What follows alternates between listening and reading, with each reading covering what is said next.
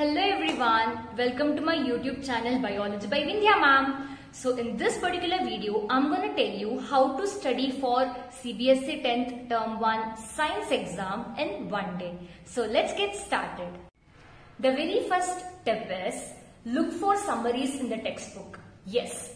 Now you might have already completed all the chapters of science subject. You should have done this already, right? And now this is the time for revision. But how you will be able to do the revision? Reading the summaries in the textbook. So do read out the summaries in the textbooks.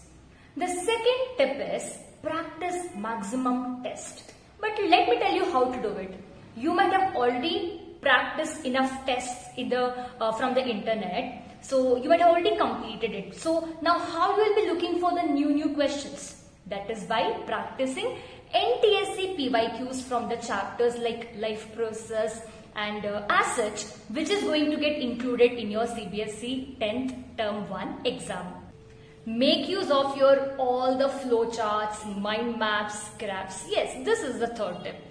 So I already have taught you how to make the mind maps flowchart. So don't ask me now how to do it because this is not the time to make all this. But you have to make use of it now. Which means whatever study maps, flowcharts that you have done, use it as a you know revision notes by with the, with the help of which you will be able to study entire chapters quickly. And hey, I have told you to write down important terms that you forget, right? So those list that you have done which has important and difficult, confusing terms of science, you will practice it. Yes, in this span of 24 hours. So these are some of the important tips.